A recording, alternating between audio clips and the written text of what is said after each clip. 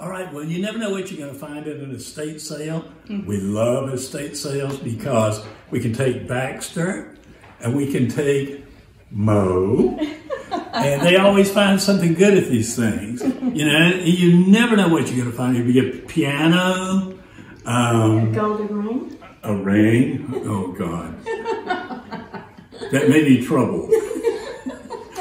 It depends on what kind of ring it is, right? But there's just such a wonderful variety of things, that we kind of hooked on garage sales and, and estate sales. So we love them. Thank you for having them, and thank you for letting us bring our dogs.